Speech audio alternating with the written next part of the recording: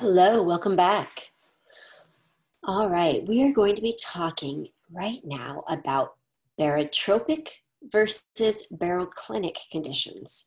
And we're going to be looking at how we can look at a section from the Gulf Stream and understand whether it is barotropic or baroclinic. So, to start this, we have these schematics showing barotropic conditions on the left and baroclinic conditions over here on the right. So a barotrop- barotropic conditions exist in the ocean when the water is well mixed. So then the density is going to be homogeneous. So in this case, right here, if you have some sort of slope in the sea surface, whatever that slope in the sea surface is, all of the isobars, the levels of equal pressure, will be parallel to the sea surface, and all of the isopycnals, or the levels of equal density, will also be parallel to the sea surface. Now, the density is indeed increasing with depth, as is the pressure, but these lines are parallel to the sea surface and they do not cross. On the other hand, we have, can have baroclinic conditions. Baroclinic conditions exist when there are lateral differences in the density. So in this case right here, it says the water on average is less dense on this side, and the water on average is more dense on this side. And we can see that by looking at our isopycnal lines. So if I look at this isopycnal line, I see that it is sloping up and to the right. That means that all along this line, anywhere I go along this line, it has the same density. So it's the same density here as it is here. And I know that the density increases with depth. So in that case, if I look at this depth right here, I know that the density at this depth is, is greater than the density at this depth. Now, the isobars initially are following the sea surface. However, as we go down deeper and deeper, the fact that the there is this change in density is going to affect our isobars as well, because the pressure is not only affected by the height of the sea surface, but it can also be affected, but it's affected in, in general by the mass of the water above it, and so it will also be affected by the density. So it will start to flatten out as we get lower, as we can see right here. And what ends up happening in the case of baroclinic conditions is the isobars cross or are inclined to, the clin, if that helps you think of it, the isopycnals. So if the isopycnals are sloping up and to the right in general, as they are here, then the isobars in general will be sloping up and to the left. To look at another schematic, again, we have our barotropic conditions on the left, our baroclinic conditions on the right. So in the barotropic conditions, the density is, a homogeneous, well mixed part of the ocean. It's homogeneous, so the density does not change between points A and points B. In that case, the isobars, again, are going to follow any slope that there is in the sea surface and be parallel, and that they will maintain this angle all the way to the bottom and the isopycnals will be parallel as well. Now, if the sea surface is sloping up and to the right, and the isobars are up and to the right, that means that the pressure gradient is to the right, and so the pressure gradient force is going to be pointing to the left because it points away from the pressure gradient because a ball, we know, rolls downhill. Now, if the pressure gradient force is pointing to the left and we are in geostrophic balance, that means that the Coriolis force must be pointing in the exact opposite direction, which in this case would be to the right. So if Coriolis is pointing to the right and we are in the northern hemisphere, then our geostrophic current must be going into the page, and that's what it's doing. So our geostrophic current goes into the page, and since it's determined by this, the slope of our isobars that is giving us our pressure gradient force, since that's not changing, it is constant with depth. Now let's look over here at our baroclinic conditions. In our baroclinic conditions, we see that in this case over here, we have um, the isopycnals are sloping up to the left and the isobars are sloping up to the right. So the sea surface is going up to the right, but the density is actually increasing to the left. So in this case, we see that the density at A is going to be greater than the density at B. So in barotropic flow, the densities were equal and the geostrophic current was constant with depth. Now, in our baroclinic flow, the density is greater at A than it is at B in this case. And we see that the isobars are not maintaining that same slope, but are starting to flatten out. And if they flatten out, that means that our geostrophic flow, which again, of course, is still going to be into the page because our isobars are up and to the right, that geostrophic flow will decrease with depth. So that gives us our baroclinic flow. All right, let's look at another schematic. So in this schematic, we again have our barotropic flow on the left and our baroclinic flow on the right. And what we see here is that the isobars in bar- on our barotropic flow maintain the same angle, they maintain the same slope as we go down in depth. And so our, our velocity of our geostrophic velocity will also be the same as we decrease in depth. However, if we look at our, so the, in the barotropic fluid, the isobars follow the sea surface. In the baroclinic fluid, the isobars follow the sea surface less and less with depth. And at some point, so it starts to decrease, this angle gets smaller. And it starts to decrease all the way to the point that the at some point gets to a level of no motion, gets all the way down to being zero. So at some point we have no slope at all. So we have no pressure gradient force. And so we will get all the way down to having zero geostrophic flow. All right, now let's look at our examples. So this is from figure 4.12 in your text. These are measurements of the Gulf Stream for an east-west section in the narrowest parts of the Straits of Florida. This first figure right here is showing the temperature distribution in degrees Celsius. Figure B is showing the salinity distribution. Figure C is giving us the current, that computed current in meters per second, so it's computed uh, based on geostrophic flow. And figure D is giving us the observed current in meters per second, so that's actually observed, measured current. All right, so let's point out a few things.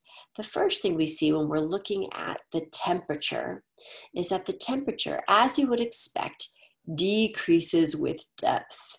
So the temperature is getting uh, cooler and cooler with depth, which is what we would expect because that means that the density is increasing, so we would have a stable water column. The salinity, however, is doing something a little more strange. So we have uh, lower salinity here at less than 36.1. This is our 36.1 isohaline. This is our 36.2 isohaline. So the salinity is increasing. So that would be that would be stable. We get we get all the way to this this isohaline right here of 36.5, and this one isn't marked, but that would be 36.6. However, below that, now this is where that that isohaline of 36.4 comes back. So here we have less saline water below more saline water. And as we see, if we just look at the big numbers here, we've got 36 dropping to 35.5 all the way down to 35.0. So we have less saline water below more saline water. So this would be unstable if the salinity were controlling the density. Now we know that this that this is a stable situation. So, and we're in the mid latitudes. So in the mid latitudes, the temperature usually does control the density. So the first thing we see by looking at this is that the temperature distribution is what is controlling our density. All right. So now let's try to understand a little bit more about what's going on in these profiles. So the first thing that we want to do is I think the easiest way to look at the temperature is to just follow right along on one of our our iso isotherms, our uh, constant temperatures. And so this is pointing out uh, that the 10 degree isotherm is much, much lower on the right side of our image and much higher on the left side of our image. So there's a big difference between the temperature on the left side and the temperature on the right side. Similarly, if we look at the salinity, and I picked out here, we'll follow the isohaline, the 35.0 isohaline. It is much, that, that isohaline line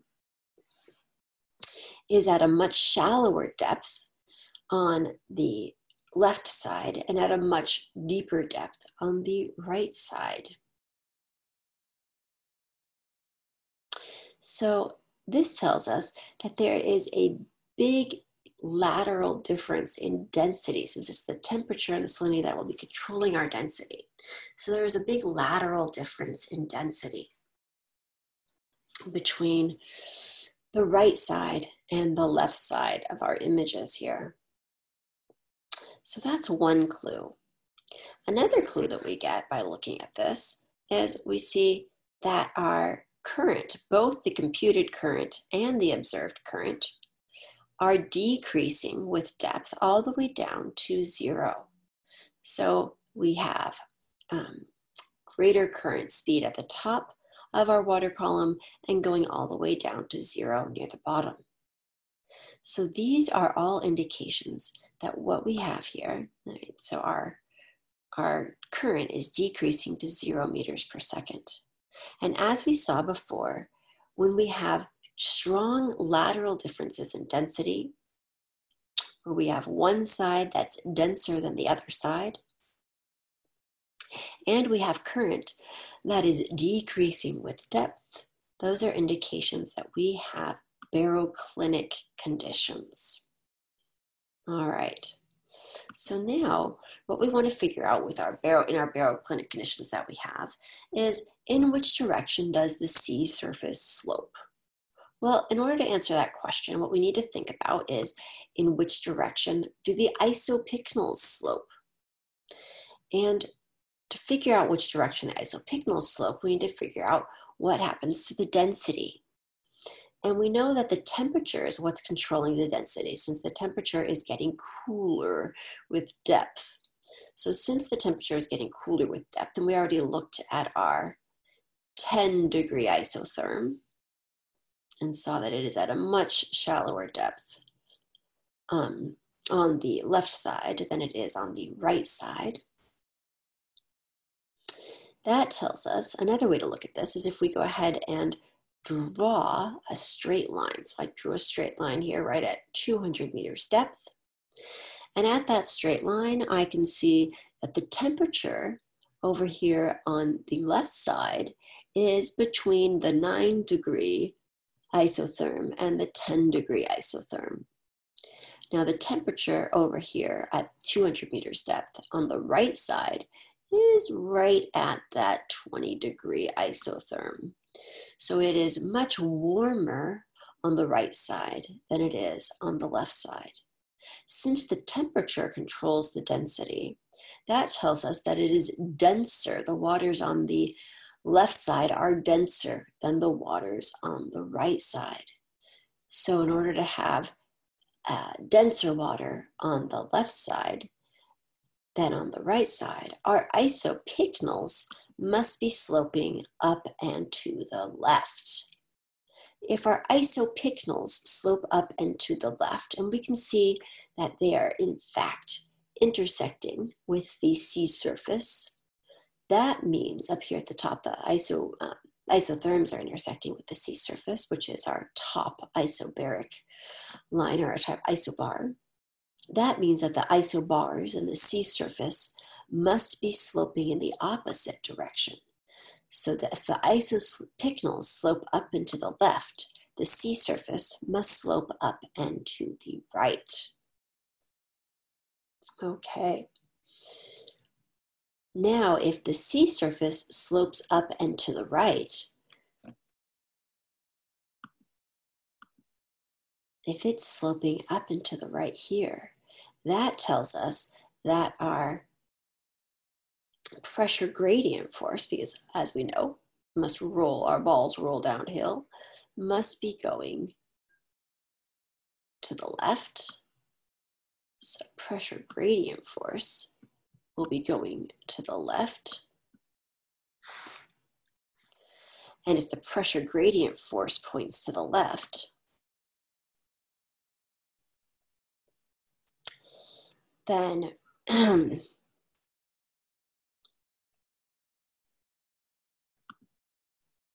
then what we see is that the Coriolis force must point to the right in order to have our geostrophic flow.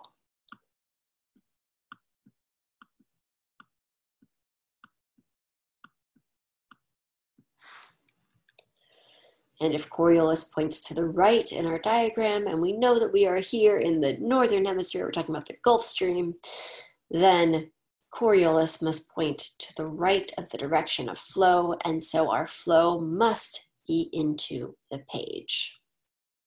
And Florida is over here on the left, and the Bimini Islands are over here on the right. All right, so now the next question we want to look at is Does the sea surface simply slope up to the right, or does it do something a little more complex? Well, to answer that, we want to look again at our temperature profile here. And we see that right there in the middle, that is where we have the warmest water. We have this warm water that's coming down. And if we follow the isopycnal around it on either side, we see that on either side we have cooler water. Similarly, if we look at our salinity profile, right in the middle we see that we have the least saline water. So right in the center, right in the middle of these profiles, we have the warmest, least saline water. So it is going to be the least dense, and we're going to have a little elevated area here. The sea surface is not going to be uh, just simply sloping up and to the right. Something else that gives us a clue is if we look at our current. And our current also has this, uh, this increase right in the center, right in the middle of our profile. And so that gives us an indication that the sea surface is not just simply sloping up and to the right, but actually has a more complex shape. And so we see that it's not just up and to the right, but actually has a hump in the middle of the section. All right. I hope that made some things more clear about barotropic and baroclinic conditions and how we can use those to understand flow in the Gulf Stream.